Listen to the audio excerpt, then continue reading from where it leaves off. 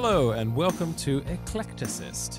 Eclecticist is an investigation of everything from a British and an American perspective by two brothers who consider themselves to be relatively normal humans, and we do this one topic at a time.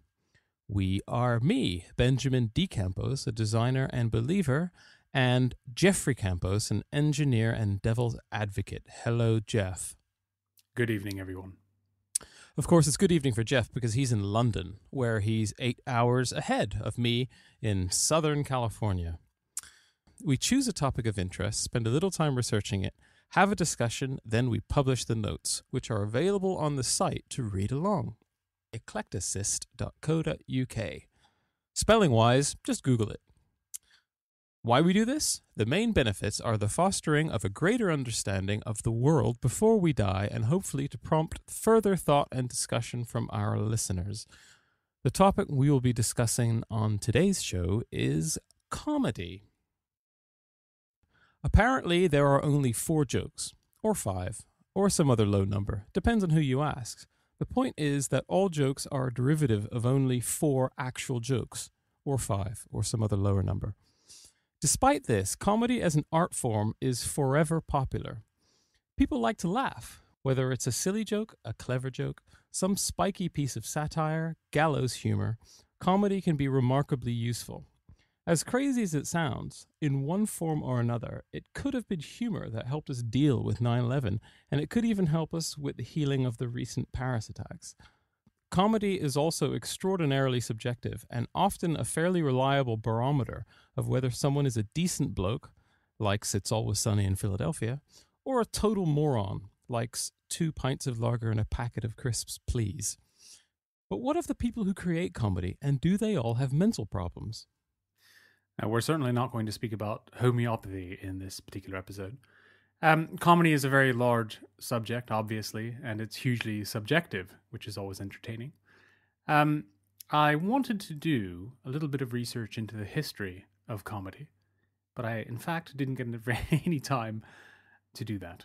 And the only thing I, could think of is, are jesters. But I did do some reading around the psychology of laughter. So, as we know, everybody likes laughing. I believe that's universal.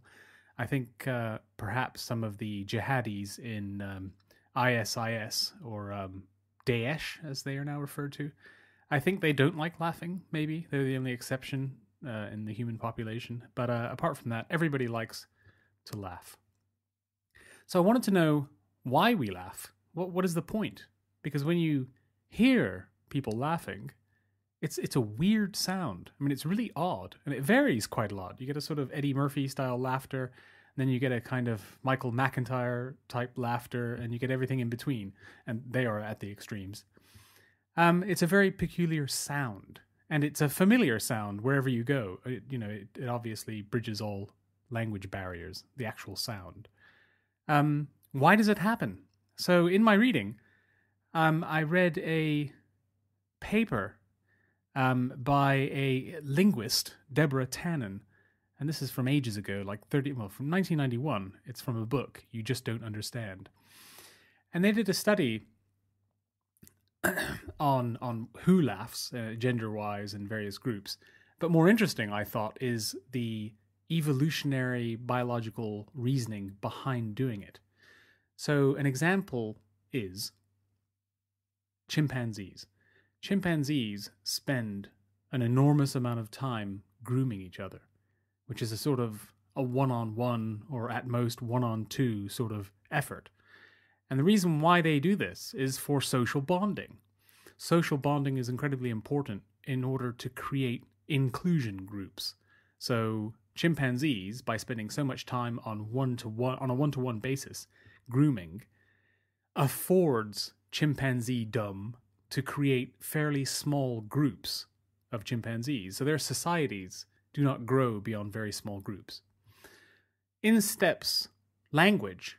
Language is a much more powerful and broadly appealing social inclusion technique. You are able to speak to many people at once, for instance, or you are able to communicate ideas to multiple people in sequence.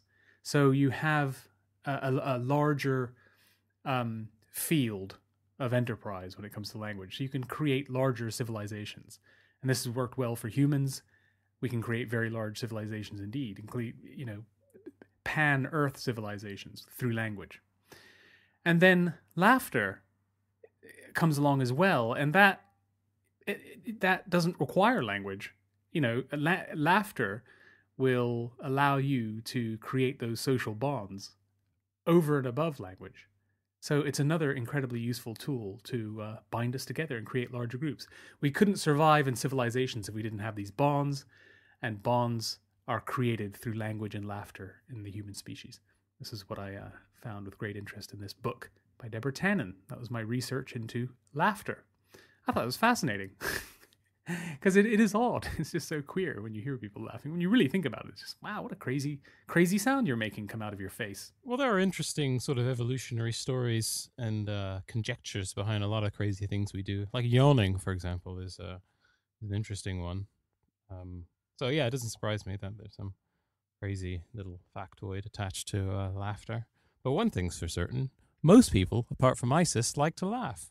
It's true, they do, and I think um, again, from this study, this book, uh, You Just Don't Understand, from 1991 by Deborah Tannen, um, she ran case studies on, you know, over a thousand uh, people, and she found that women laugh more when there is, uh, when, when you have um, couples. So if you have a, a man and a woman, the man will make more of an effort to be funny, and the woman laughs more. And this was a significant finding. You know, it was statistically significant that this was the case throughout all the case studies. It really does seem as though the men are trying to make the women laugh. Um, and that just seems like a fact. So again, you know, you can speculate on why that is. And in evolutionary terms, you know, maybe it's the the peacock syndrome, and that uh, it's the men who need to attract the women because the women just innately are attractive to the men. They're sort of like the target. Yes. So you know, they're the ones who have the the selection. I mean that that doesn't sound like rocket science to me. I think everyone probably um, has uh, witnessed that phenomena of uh, the guy being funny. You know, as you've written here in the notes. Um, I think you're. Are you being sexist? Uh are you saying women aren't funny? Is that what you were sexist? saying? I guess you could probably say that's being sexist. Um, but again, it's that it's that fine line of um, whether or not it's ethical to pursue a line of inquiry. You know, even if the facts may be on your side, and uh, it just you know by talking about maybe factually, statistically speaking, that women aren't funny, might be stepping over a line. It might be one of those things that you don't do. As you'll probably talk about, Christopher Hitchens, you know, had this uh, controversial um, op-ed that he wrote. Actually, I don't know what he wrote it wrote it for, but uh, he made this observation that women aren't funny, which is such a kind of crazy headline. Um, it's like, well, what, what are you talking about? But he explains it very eloquently that you know, it's the guy that'll make the jokes, It's the woman that, that'll laugh at them. No, I just think it's fascinating. I, I mean, in my personal experience is that men certainly try to be funny, and and the women are laughing at their jokes, and if their jokes are any good. But uh, I don't. My personal experience of life is that I think the funniest people I've experienced are always men. Right.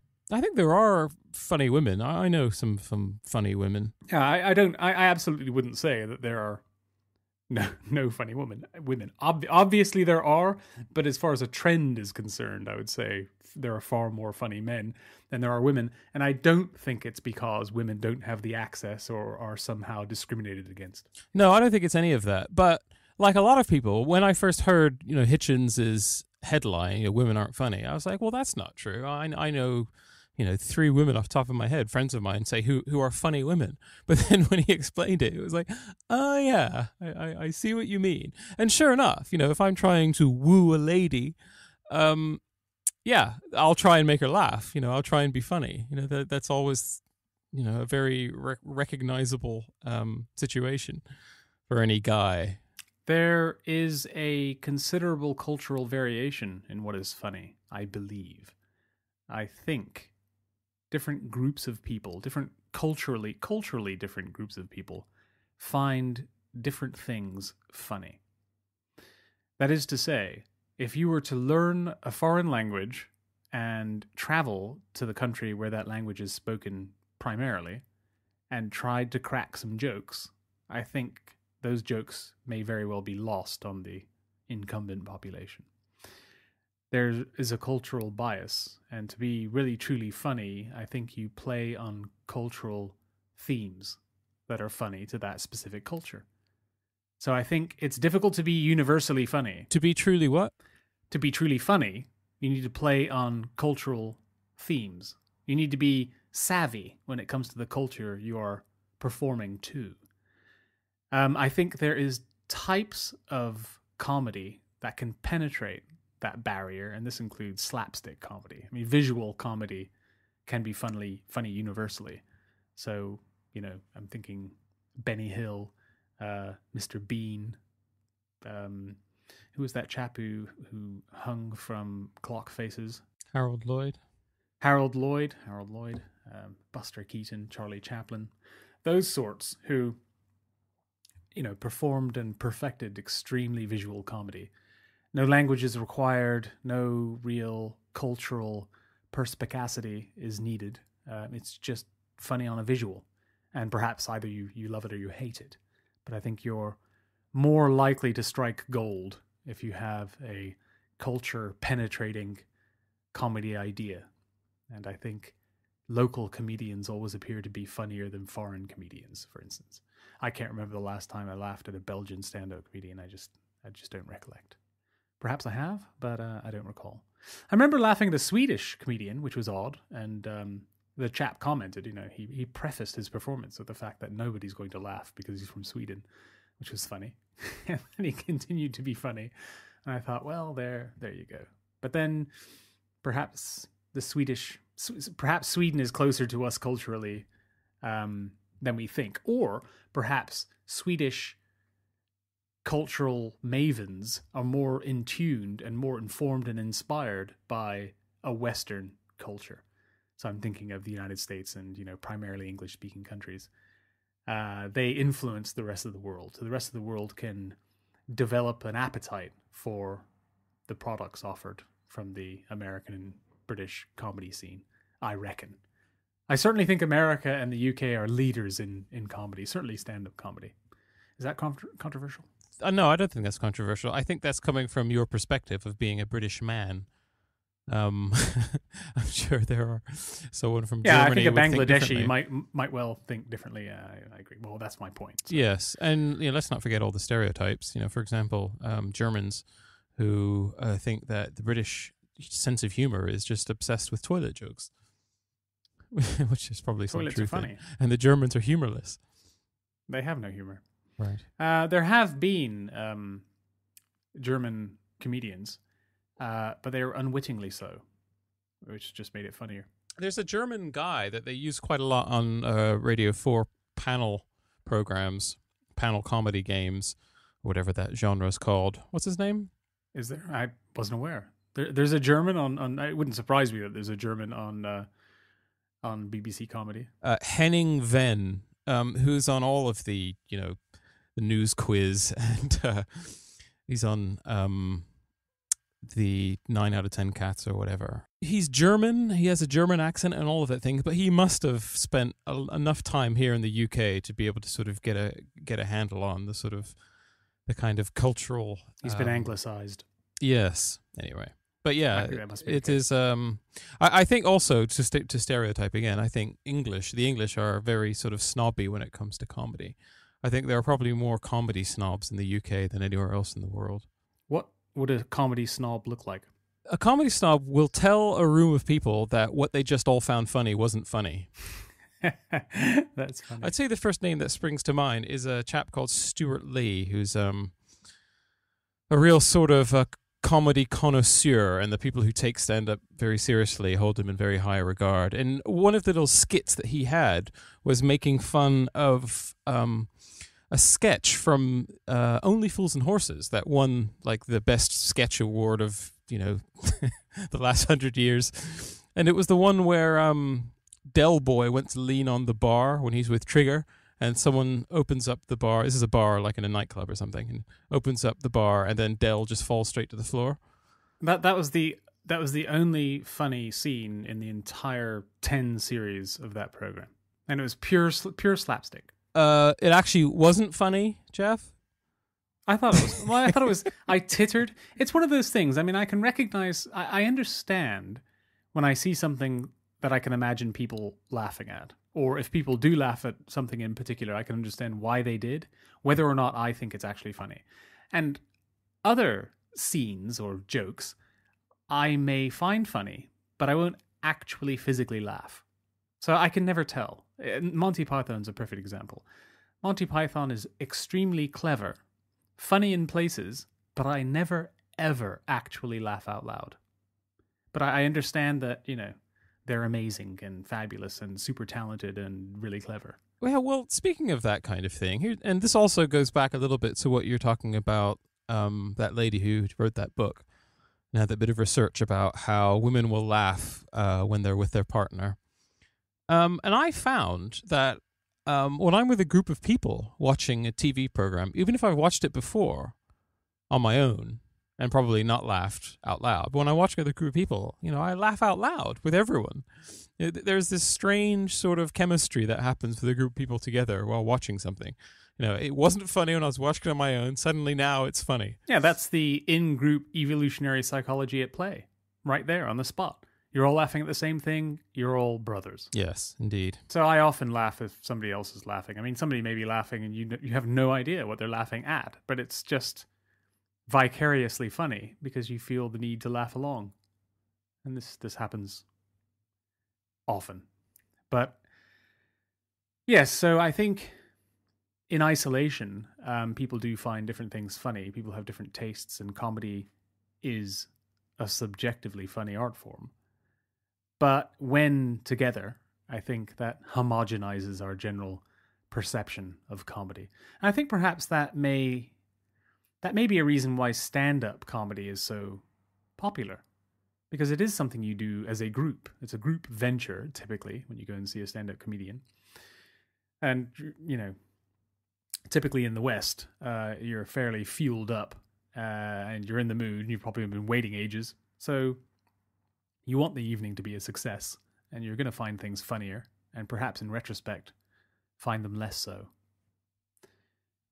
I mean, I've I've had great experiences with um, stand-up comedy, and uh, you know, really genuinely couldn't stop laughing the, the entire time, uh, which is fantastic when it happens, uh, and it does happen, and I think it happens a lot more in a live during a live performance than watching something on uh, on Netflix, for instance. Yes. Um, I mean, that probably brings us on to our next uh, sort of little topic here, which is stand up comedy. But before we go down that road and to segue into comedy, uh, stand up comedy, um, you spoke about cultural variation, but there's also something else that sort of works alongside that. And that is um, the sort of evolution of comedy over over time. Um, just in the last 30 years, say, when you watch something from 30 years ago, you know, that was hilarious back then. Um, and a lot of things I watch now and think, wow, people laughed at that. Um, so I think there's something to be said for just how comedy changes, and plus also political correctness. Um, that's quite a big deal. It's like in preparation for this show, I was watching um, Eddie Murphy do his Raw stand up, which is on Netflix. Yes, I've seen it. I thought I'd give that a whirl. Um, and I got about 15 minutes in and it's just, I couldn't take it anymore.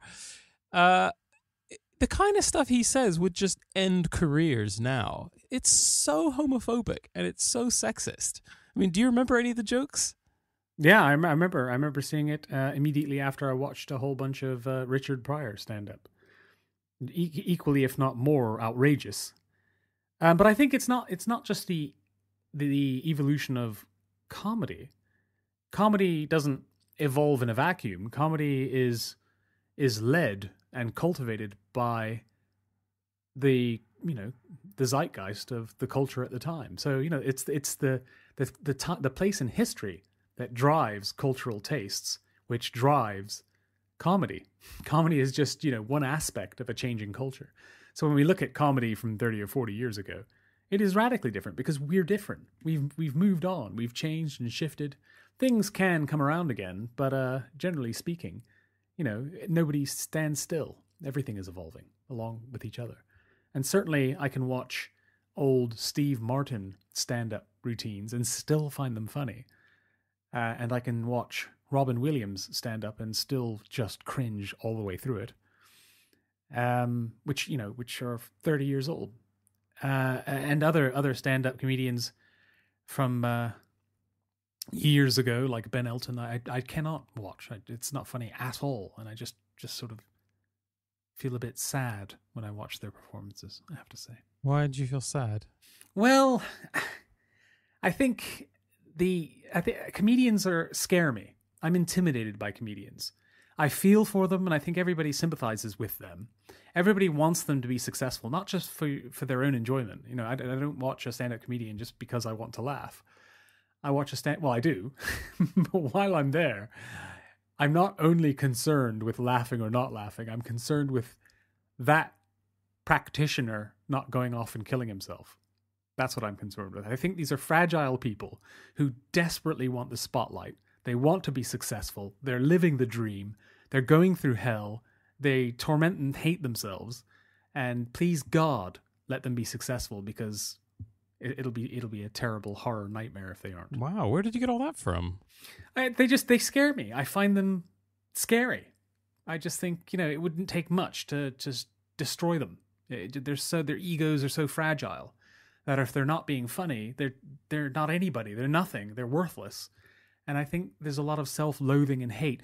I was listening to a, a, a, program on Radio 4 about just this um, many months ago, and it was about how comedians are horrible people. This was from a comedian. And he was saying, We all hate ourselves and we're horrible. You know, we, the, the worst people to speak to or to trying to get along with because we're just so self loathing all the time.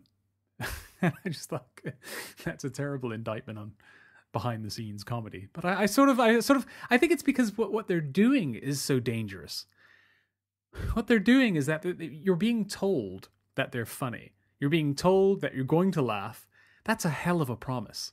And to deliver on that promise, you know, you just have to have stainless steel balls because. But you just said they're fragile. Who's to say? They are. well, that's the queer thing. They are. You th- you know, it does take stainless steel balls to do what they do. But in fact, what they're doing is they're taking a risk. They're taking like the ultimate risk and hoping it's going to pay off. So you perceive stainless steel balls, but in fact, they're nervous wrecks who are just praying to God that they're going to succeed. There's often stories where they're throwing up before they come onto yeah, the stage. But I, I think so. I'm, I'm sure. I'm sure those comedians do exist, but I think that's one heck of a generalization because I think there's a lot of comedians who um, are tough because they have to be. You know, they have to deal with all the idiots in the crowd, but also they're there because they have stuff to say. And, and being funny is kind of like a byproduct. It's like there are people who just sort of like, you know, tell stories. Like Bill Hicks on this little list of stand up comedians here. You know, he's one of them. Bill Maher, he's another one. He he does stand up, but he will yell at an audience, you know, if if they laugh at the wrong thing or they're not reacting right or whatever. I can't ever say I I thought Bill Hicks was funny. No, me either. Well, I mean, yeah, just never funny. Let, us get on to that because you, from what you've just said, just then, you, you you quite like stand up. I personally cannot stand stand up. I find it just horrible and horrible for a number of reasons. The, the first off is it's one of those situations where all kind of civilization goes out of the window when it comes to the audience. It's like okay, we're at a stand up, which means we can now behave like absolute animals. And they're just like screaming and just, you know, the worst kind of humans. And this is what I mean about comedians need to be um, fairly thick skinned because they need to be able to hurl abuse back at the, the hecklers. Another reason why I hate stand up is um, uh, I don't like the fear of being picked on because you know a lot of the shtick that comedians have, where they'll start picking on members of the audience if you know they look silly or they think they can riff on someone's face or whatever. you know, you, you know, that sort of typical icebreaker thing that comedians do when they come out. oh, look at you there. Hey, look at look at that guy. I, I have no issue with that, but I, I, I do have a massive anxiety issue with finding a place to sit in a coffee shop. That just kills me. I, just, I can't deal with it any longer. I'm never ever going into a coffee shop again because if you know, I just if I, I'm not assured that I'm going, if it's not half empty, I'm not going in. Forget it. If I can't find a chair, it's over. But sitting in a, a stand up, you know, right on the front row, right there, you know, wearing a funny hat, uh, fine. Go ahead, pick on me. Go ahead, do it. I, I want you to. That doesn't bother me. I don't share that view. I don't want to be picked on. But I, I think, I mean, I have had fabulous experiences at stand up shows.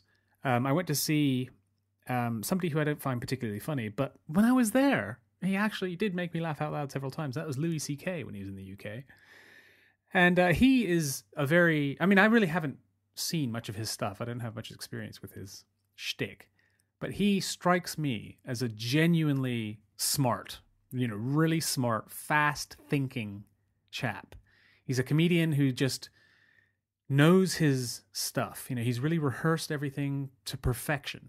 And he has a whole bunch of um, segues in his pocket that he can take at any one moment. And he's just super professional. So I think he's the pinnacle of stand-up comedy. You know, he's somebody who appears to be in just in total control.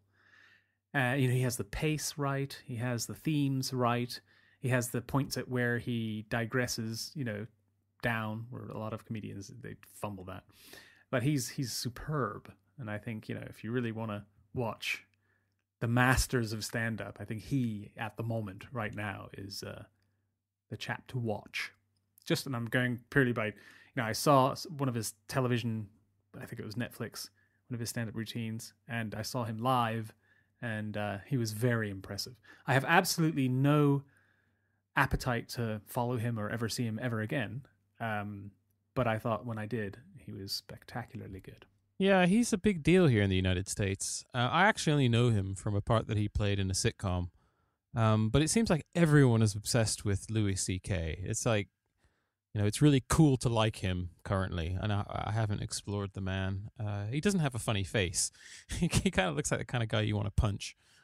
Um, but you know, he might be brilliant, and uh, you know, I'll take what you said on board and give him a look see. So, just going down this list that you've put here of important figures in stand-up history, I put Lenny Bruce on the front of this. Um, on the the front of this list, who a lot of people haven't heard of. But I put him in here because he's very high, very highly regarded by comedians as being like the first person or the first comedian to actually sort of break the tradition of just coming on and telling jokes. He he comes on and tells stories, you know, and just sort of like you know meanders and um he's a raconteur. Yeah, but um he just sort of talks about what's on his mind and all of this kind of thing. It's not necessarily funny. and this is what I mean about. It sounds like Ronnie Corbett. He used to do that, and he was never funny. No, it's no because this guy was definitely a little bit more um, sort of political. I mean, he died like a heroin overdose. I think he's one of those crazy guys. You know, one of those kind of artists. I think Ronnie Corbett's still alive. He's in his eighties, deep into his eighties.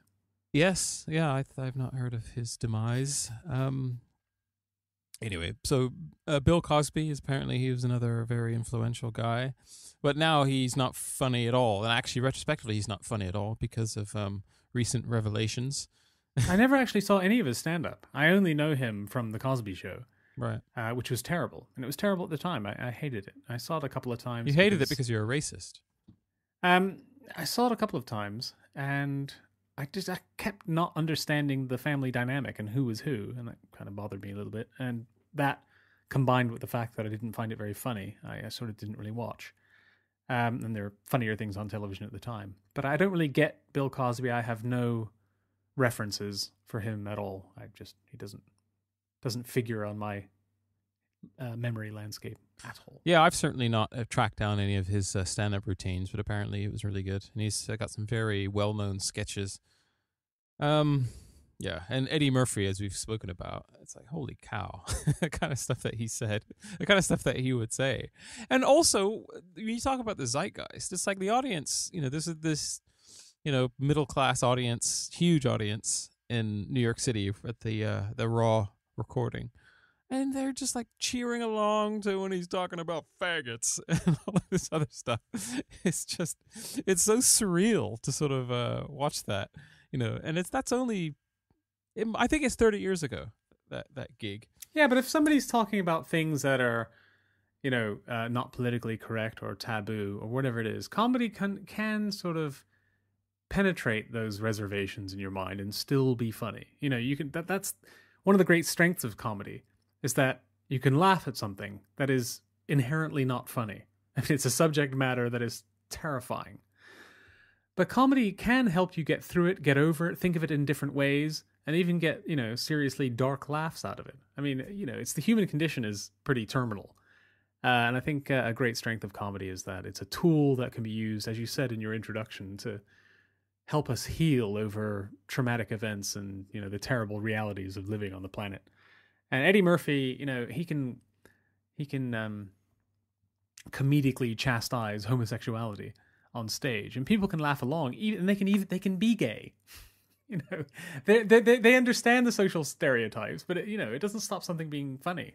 No, the reason why I bring it up is just that in the mainstream, comedy just doesn't work like that anymore comedy isn't so hateful. Now, that doesn't mean it's not funny. It just means that's not the way it is now because we're having our freedom of speech shut down. Well, ah, well, I mean, th- that's another conversation. But I think it's it's not just that. It's like we're just more compassionate. I mean, we still laugh and we still go and see stand-up comedians, but it's like the style of humor is just a lot less hateful because Eddie Murphy's talk was a lot of it did seem pretty hateful towards women and and homosexuals and various other groups.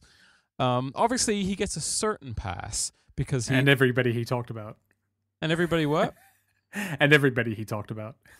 You're listing the groups that uh, his hate speech uh, centered upon. It was pretty much everything he talked about was uh, that was his style. But but we give someone like Eddie Murphy a pass by default anyway because he's not a white man. So he has a certain amount of leverage. But even so, I think comedy just uh, in terms of the direction it's going down is just it's not becoming um like you know benign and just anodyne to the point of just irrelevancy. You know it's still hard hitting and biting and and you know walks a fine line but it's not so hateful now. It's like we seem to have more mm, compassion no, no, no, about no, we still have groups. characters who are fairly hateful. Roy chubby brown frankie boyle they are not mainstream. It's like roy chubby brown is not on tv um frankie boyle is. Which one's frankie boyle? He's that really controversial comedian who's pretty seriously hardcore. Uh, on what? I have to say. W- what kind of stuff is he hardcore on? Oh, God, all kinds of horrendous, terrible, awful topics that I really wouldn't want to plumb for comedic value. No, no, but that I really what, what can't like? even list here because I'm so. no, because it, it, it's my contention that that if you're hateful towards certain groups, it could be detrimental to your career. Yeah, yeah, exactly that. Yeah, I think so. I think so. I think so. For example, Jim Davidson, you know, there's no way that he could get away with uh, the kind of things that he used to say. And I think the reason why he's not on his screens, it's because we've sort of grown out of his racist jokes. Uh, yeah, I agree with that. I think characters and and comedians like him uh, are not in the mainstream. They are still around, and their comedy can still be sought uh, but certainly they're not in the mainstream. I completely agree. But have but but I mean, hateful is different from just being an arsehole because I think arsehole comedy is is pretty popular. It's like on this list you got here Ricky Gervais. Now, a lot of his stand up that I've seen, you know, he just comes across as just a horrible, obnoxious guy. I don't think he is in real life, you know, it's just a character that he's doing. But I think he he gets away with it because it's satire. You know, he can say these things because it's okay. It's okay. Yes, he's it's like these, saying allegedly in front. Yeah, of yeah. It's you know he said these horrible things about you know X, Y, and Z people, but uh, it's satire, and you're laughing at people who make jokes like that. You know, like also yeah, you're not the, laughing. Um, you're not laughing at and giving me the money, for instance. Yeah, it's like um, the pub landlord guy and Al- uh, Alf Garnett, for example, who died um, couple of days ago. Last week, I think, coincided with the Paris attacks. Not related. Um, he uh, he he started that whole thing, you know, where he would be this, you know, loudmouth bigot, and people would see him in the street and th- think that he was that person and say, "Yeah, good on you, mate. Send them all back," and all this kind of thing. anyway, yeah. I mean, he was actually he was actually a double agent. Yes, because he really it really was like that. Yeah, he's actually Jewish. Anyway, and you've already mentioned Bill uh, Ben Elton, who I can't stand. Again, Ben Elton strikes me as um, just the worst kind of leftist political, um, boring comedian. Never, never, never thought he was funny. I mean, I got where he was coming from, and he was convincingly clever. Um, but having read a couple of his books as well, uh, good grief! I just Really, you read some of his books? Yes, well, I don't know. You know, someone recommended them many, many, many millions of years ago, and I read a couple. Um, yeah, just awful. Just not my scene at all, and uh, really makes me think. You know, perhaps stand-up comedy is just not for me. So I'm always very hesitant. But when I, but I, but I'm always You said you really like stand-up comedy. I do, I do. So I'm. You mean stand-up comedy's not for you as in performing? uh, no, I, I said that when I see performers like Ben Elton, I think perhaps stand up comedy is not for me. But when I actually do see stand up comedy, you know, I can when it when it's good, it's great, really fantastic. It's really superb medium for comedy. I think uh, when it's done well. And it's great, and you feel great, and you know when you're walking away, and it was a total success for everyone all around you sort of cheer in your mind for everybody, not just you, but also the performers, and no one got hurt, and it was it's a wonderful thing. But as I say, I think it's very, um, it's dangerous, dangerously explosive comedy because if it goes bad, boy oh boy, that's tolerable. You know, the whole toe curling thing is difficult for me, and I think it is for everyone. A lot of people find that appealing, but a lot of comedy is quite toe curling, and I just I can't stand it. And the most toe curling comedy is female stand up comedians.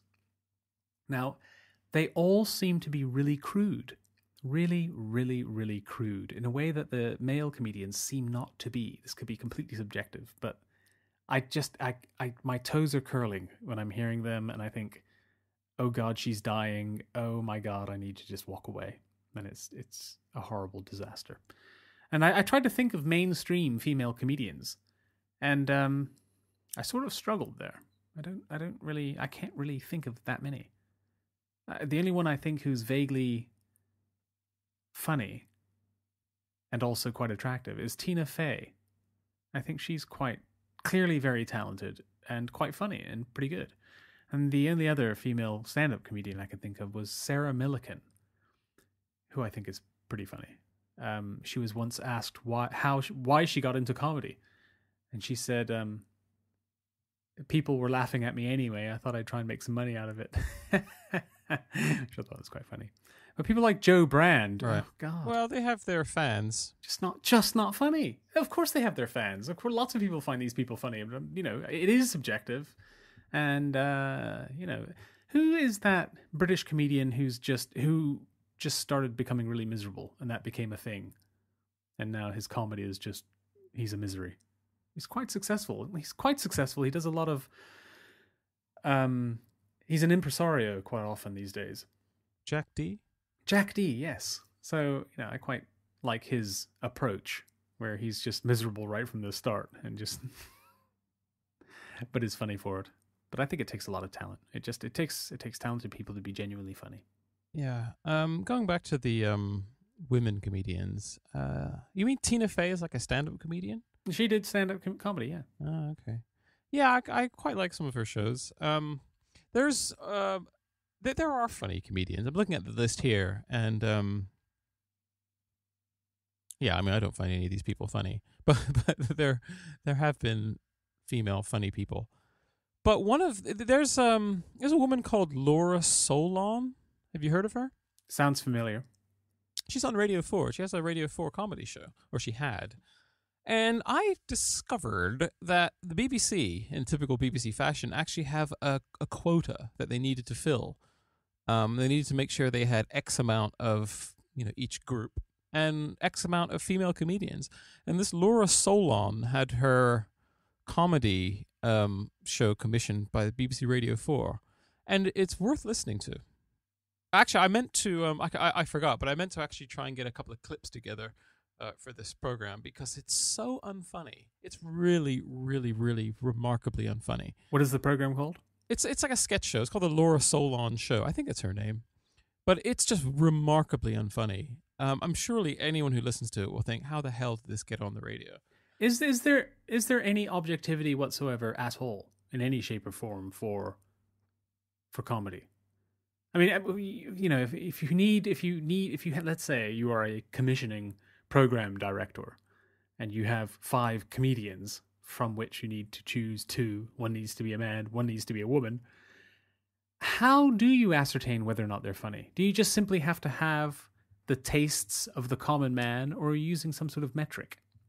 What? Is there any objectivity? Well, I think you know, com- comedians will be types of comedians. You'll have comedians who are kind of deadpan, or comedians who are this, that, and the other. Um, and so that might be part of the parameters that you want a deadpan comedian for this slot. I don't know. I have no Time idea. slot. But also, it's like everything else. You know, what kind of agent they have, what kind of uh, noises are being made about them. And you know, there are people who are supposed to be like unbelievably over the top funny who I simply cannot stand. And this is what I said at the top of the show about how subjective it all is. Like for example, um that idiot. What's his name? Oh, what the hell's his name? Yeah, you want to narrow it down a bit. No, um Brand. Russell Brand? He is just completely insufferable. I cannot stand to hear his Is he a comedian? Yeah, he's a stand up comedian. Yeah. Why did you say that? Are you being facetious? I mean, you have to be being No. facetious. You don't know he's a comedian. No, I thought he was some sort of um, activist, some kind of polemicist of some description. oh, oh, he's always Because doing he's that. Yeah, banging yeah. on about No, the he- government and but he's doing a Bono basically. He's kind of using Yeah, his right. power and influence to uh, try and um, make changes. You know, fair enough, whatever. Anyway, um, and also, uh, so there's people like Russell Brand, and also who we've already mentioned, um, Simon Pegg, who for some reason the world unanimously thinks that he is just this amazing funny guy. When to me, he's not funny at all, and he's just over the top overrated. well, I haven't seen any of his stand up. If he's done stand up, I assume he has. I think he has, in fact, Simon Pegg. Yeah, I haven't, I haven't seen very much of his output at all, nor have I heard very much about him. Um, But you, but, but, you know he's a, his genius. films. No, I've seen a couple of his films and I enjoyed them. I liked um, Shaun of the Dead. We've spoken about this, and uh, something or other he did, which I thought was quite good. Spaced. But uh, that's all I know about him. I haven't heard anything, any, any, any of uh, singing endorsements for him. For Oh, it's freaking all over the place. It's all I ever hear. Hmm. This could be a uh, an Atlantic divide. Similarly, I haven't heard anything about, and we don't hear anything about uh, Ellen DeGeneres over here. But apparently, she is the second deity to the right of Oprah Winfrey in the United States. Right. Yeah, she's got a kind of talk show. Uh, I see her face on billboards and things like that, Hmm. but I, I generally don't run into her. I actually watched um, the last series of Ellen as a kind of sort of science experiment. So I heard so much chatter about how downhill it went after she sort of came out of the closet and the show stopped being funny. this was like in the late 90s or something. So I actually sort of um, watched uh, most of the episodes of the last series of uh, Ellen. And this actually wasn't too bad. I didn't think it was that unfunny at all. Did it follow the standard formula for comedy in American programming? You know, you always have five characters, and I mean, they they seem so samey. Uh, the, the really popular shows at the moment are The Big Bang Theory. Well, I mean, they're sitcoms, uh, and they're set in an apartment, and, and you know, all the the the protagonists all live in the same apartment building, and you know, they walk across the hall from each other, and you know, spend most of the time just uh, the you know just expositing these brilliantly observational soliloquies you know without making any mistakes or anything just absolutely the incredible amount of wit that is coming out of these individuals clearly comes from a committee of writers uh, all all all springing from uh, what's his name Jerry Seinfeld I mean he's pretty much you know started off the whole genre and now they're just everywhere you point. All comedy on TV is exactly the same formula. It's scary. Apart from the sitcom that I uh, mentioned, And they can be the funny, which is of- scary. apart Because they have a committee of writers.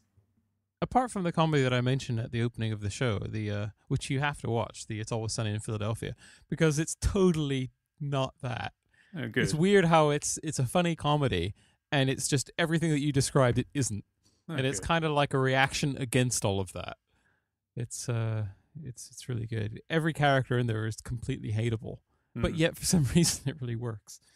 Anyway, so it's things like that. The fact that shows like that exist that make me think that everything isn't a lost cause. That there are still some some good programs out there.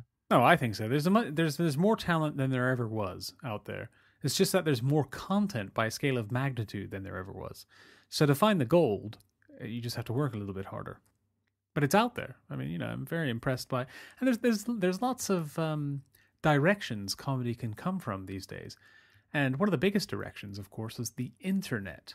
You know, the internet is responsible for an awful lot of comedy, I think. You know, a lot of ideas come from the internet, uh, which a lot of television programs shamefully steal. And, uh, you know, it's a sort of distributed, collaborative effort, you know, a decentralized generation of comedy, which I think the internet is really great for. I'm thinking in particular of Reddit, that front page of the internet, which generates an awful lot of comedy. And recently, um, there was a music video by Drake, a quiet, decent, nice, honest, polite Canadian rapper, uh, who released a uh, music video where he just sort of dad dances all the way through it.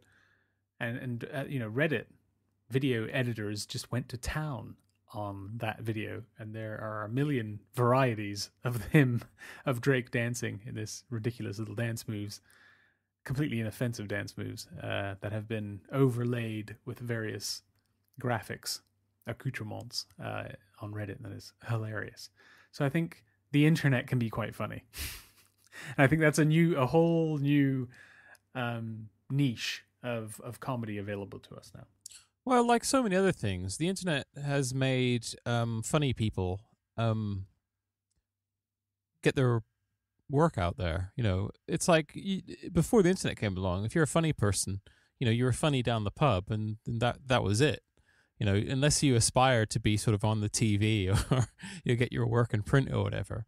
But now, because of the internet, you know, people can just be funny and just get their stuff out there, and normal people can receive it and laugh if they want to. which I think is great, especially if the costs are low.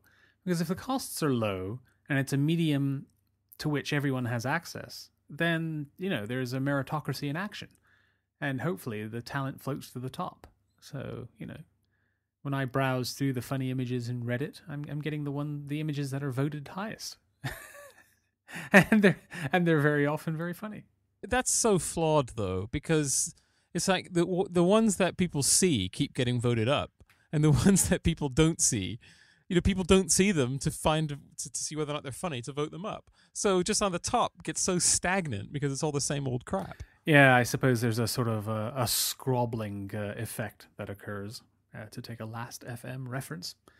Yes. But uh, yeah, I guess I suppose. I mean, I've certainly, I think I see the homogenization of comedy, and that uh, I see the sort of patterns and formulae that comedy writers use being conducted from country to country. So I see that this country now is is on a par comedy wise with America in terms of tastes. You know, we have very little here that wouldn't be something you could immediately translate to an American audience. Change a few word pronunciations here and there, and it's exactly the same model, Mm. uh, which I think is not particularly a good thing. I mean, I'm thinking of um, Fawlty Towers, which at the time was a major departure for the comedy that was current, you know, current in America. It was a very British comedy when it came out, but now new British comedies that come out are not that far away from uh, new comedy that's coming out in the United States. So we are we have become an annex. Well, I used to be a comedy snob, not to the point of the comedy snob I described early in the um the show, but to the point where I just assumed that British comedy would be better than American comedy. American comedy is just bland and crap, and British comedy is just so finely crafted, and just a sense of humor is so wonderfully nuanced and all this other stuff. But I've since discovered that that's actually crap. The all my favorite shows tend to be American shows, and I think it's just to do with um, the volume of shows. It's the fact that they, they make so many of them. It's like you talk about Fawlty Towers just there, but there's only two series of Fawlty Towers. That's it. People often talk about the That doesn't mean it's not funny. yes, but people, but that's okay. But people often talk about The Office as well in the same breath as Fawlty Towers, and again, it's just like you're talking about like two series. Whereas, like, it's always sunny in Philadelphia, for example. You know, each season has at least sort of ten episodes in it, or something like that. Um, and they're consistent. Yes, I they are. They are. Uh, they certainly are consistent. And I'm sure we've spoken about this before, but we certainly seem to be in a golden age for sitcoms because there are millions of them, and even over the course of five or six seasons, they remain consistently funny, and uh, which is incredible. But I think it's to do with the fact that they have a high churn rate of writers, and if they don't, they have writers. They have committees. Right. So when you have you know massive effort going into making a comedy vehicle funny, well, just by sheer dint of effort, um, by the gods, you can make it funny, or at least funny enough. So there's a lot of episodes out, a lot of um, television programs, sitcoms out there that are funny enough. They're entertaining enough. There's enough in them to keep you interested. They're not, you know, nothing can be killer funny all the time. Nothing. Nobody, no program. It's just impossible. And this goes back to the sense of nervousness that I always get from comedians. Uh, they know they can't be funny forever. They know they can't keep up their hit rate, and they know that they've they've spent their gold right at the very beginning of their careers. Uh, you know, you, you have one season of shows in you. That's it. After that, you're done. You're spent. You better have more people you could lean on who understand your style, because if not, then you disappear into the ether. Right. I don't think that's necessarily true. I think people mat- I don't think it's necessarily true, but I think it is. It's a fact. I think yeah, you know, you- you're funny for a while and not forever. Hmm. Yes. So, radio and TV we have here. So you've written the one show, but you mean the Now show? The Now Show, yes, that is on a television. That's a a, a fairly leftist sketch show. Sketch show? Maybe not a sketch show so much, but it's sort of it's sort of a live recording, of Topical- a topical, topical news news. comedy program on Radio Four. Satirical. Yeah, satirical program Radio Four. Yeah, it's not Um, funny at all. Yeah, it's not too funny, I have to say. Uh, but then I don't think anything's funny on Radio 4. There's only Claire in the Community, which I found passingly humorous. But apart from Right. that, it's all fairly terrible.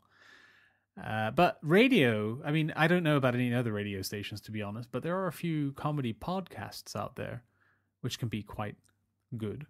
Uh, I can't think of anything at the moment, but uh, I think that's a wonderful medium for comedy. I think podcasts is great because it, again, it's it's accessible to anyone. So if you really do think you have something that'll make people laugh, or at least yourselves, uh, you can put it out there and uh, see what happens. So I, th- I think there will be great comedy coming out of the podcast averse um, soon. And I, I gather there are already comedy programs, but I, I haven't investigated them. But I'll make an effort to.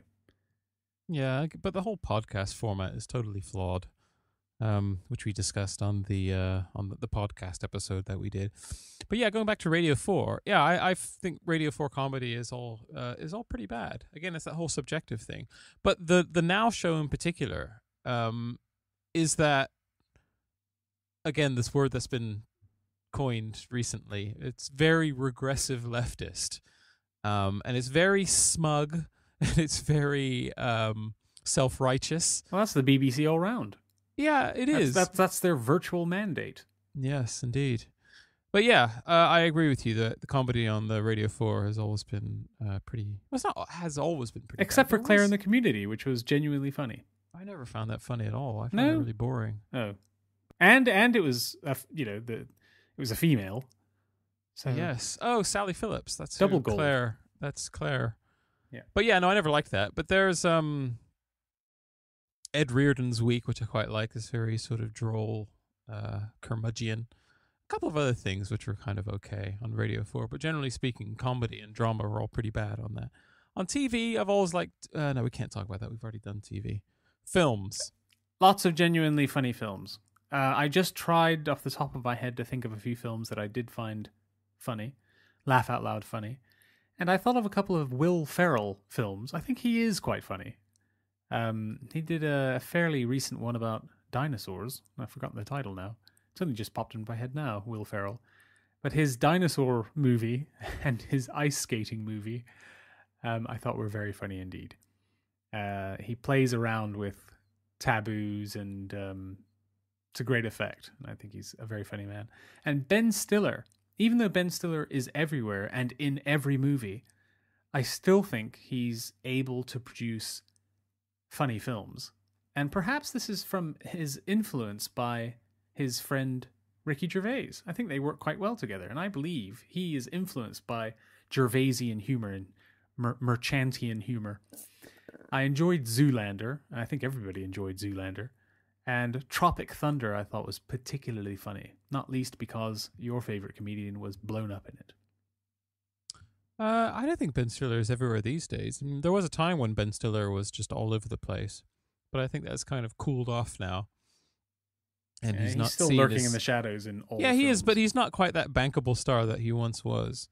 Um, yeah, Zoolander was kind of okay. Tropic Thunder was kind of patchy. I think Will Ferrell as well. His films are generally kind of patchy. I th- I think there's something about the film format, uh, which I think is problematic for kind of silly comedies. I think they're just too long. Yeah, it's never going to be 90 minutes absolutely packed full of gags. It's impossible.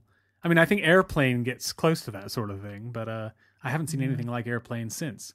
And you can discount all of those Dwayne and Wayne films, the uh, scary movie and disaster movie and all the rest of the ones. There's two brothers, right? They're diabolically bad.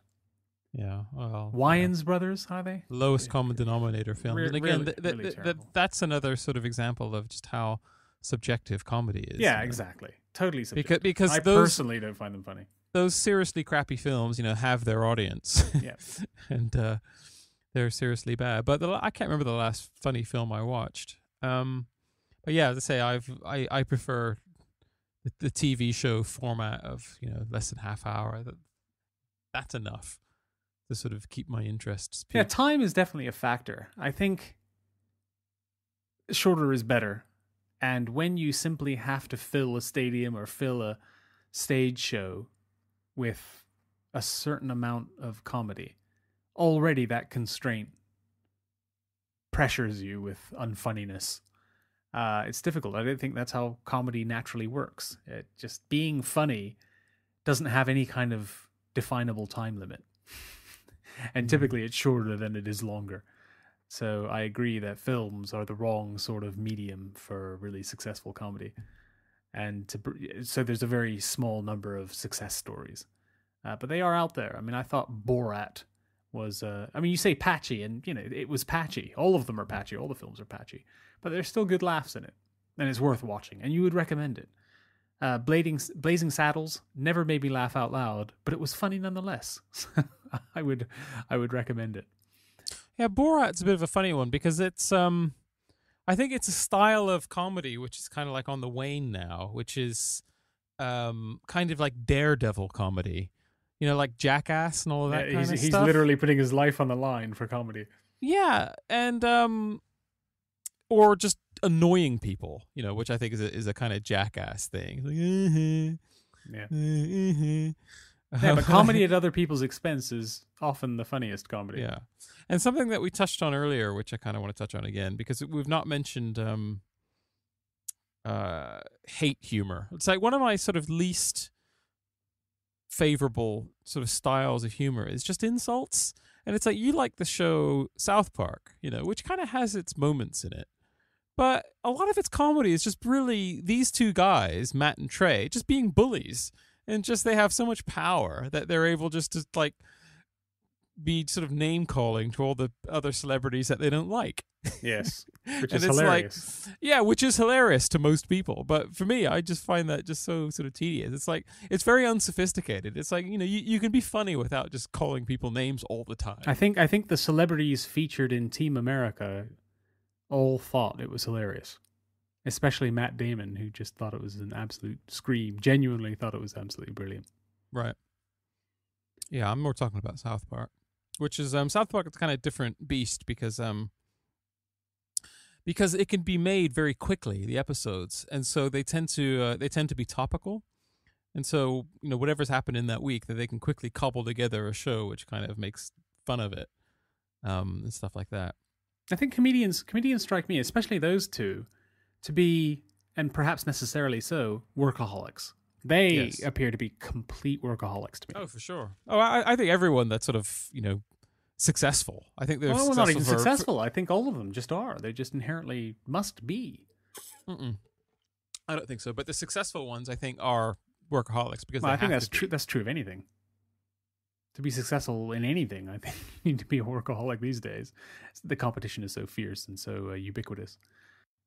I think perhaps we've missed out quite a bit, and we'll have to revisit this uh, topic. But unless there's anything more from you, I will simply remind listeners that they have been listening to Eclecticist, uh, the podcast. We have a supporting webpage, eclecticist.co.uk. It has details on all of our previous shows, uh, upcoming topics, and there's a contact form at the bottom if you'd like to fill that out and give us some suggestions, some ideas for topics, some comments, some criticisms, and some more information that we can put on our notes because we do like to have, you know, some fairly comprehensive notes uh, for each of our shows, uh, which are available on our website. Our outro music of choice this time around is again something open source, so we don't get sued, and it is entitled "Subliminal Pestilence" by Daniel Bautista. This is from Opsound. It's uh, Creative Commons. And the reason why I've included this bit of music is because I find this particular type of music funny. It just makes me laugh. I think of all that big hair and all the makeup on the guys, and it's just, it's incredibly silly, and I find it quite amusing. But uh, have a listen. It's quality music, and we will see you next time. We haven't determined what our next topic will be, but when we know, we'll put it on our website. Thank you very much, and good evening.